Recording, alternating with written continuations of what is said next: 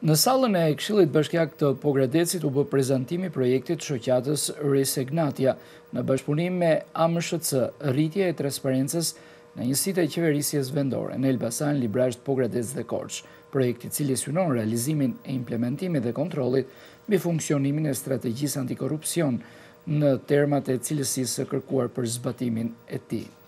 Forcimi i masave antikorrupsion nëpërmjet rritjes së transparencës dhe kontrollit të qytetarëve mbi administratën vendore dhe vendimet e saj ishte fokusi i këtij projekti. Gjatë prezantimit të këtij projekti referoi edhe drejtori i Unionit të Gazetarëve të Shqipërisë zoti Aleksandër Çipa. e tjera këto sociale te sistemi i ndihmës ekonomike nëse unë merr dikush ë trajtohet me të njëjtin ë për shkak të keqpërdorimeve politike ne kemi rritur edhe fiktivisht numrin e personave që përfitojnë në. Të kapur në versionet e tjera online për ta poseduar në telefonin vetjak.